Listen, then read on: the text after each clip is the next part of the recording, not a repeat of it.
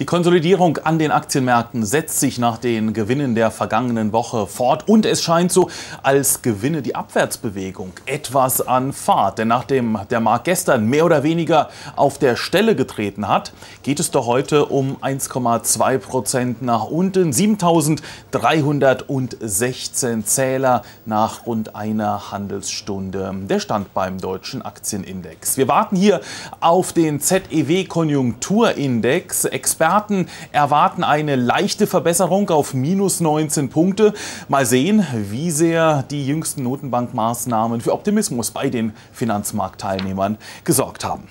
Gewinne werden im frühen Handel insbesondere bei den Bankaktien mitgenommen. Deutsche Bank minus 3,2 Prozent, Commerzbank minus 3 Prozent. Das ist aber auch nicht weiter verwunderlich, denn beide Aktien haben in der Spitze seit Juli fast 50 Prozent an Wert gewonnen. Also hier nimmt der eine oder andere einfach mal seine Gewinne mit.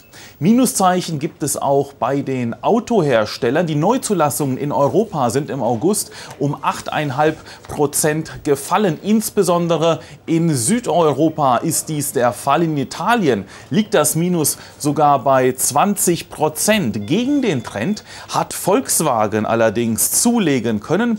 Die Wolfsburger setzten 1,6 Prozent mehr Fahrzeuge ab. Trotzdem gehört die Aktie heute zu den Verlierern, minus 2,7 Prozent. Auch BMW und Daimler mit Abschlägen zwischen 2 und 2,5 Prozent. Ebenfalls im Minus ist die Aktie von Merck. Der Darmstädter Pharma- und Chemiekonzern muss einen weiteren Rückschlag mit seinem Krebspräparat Erbitux hinnehmen. Es wirkt offenbar gegen weniger Indikationen als vom Unternehmen erhofft. Man hat nun den EU-Zulassungsantrag für die Behandlung einer bestimmten Lungenkrebsart zurückgenommen.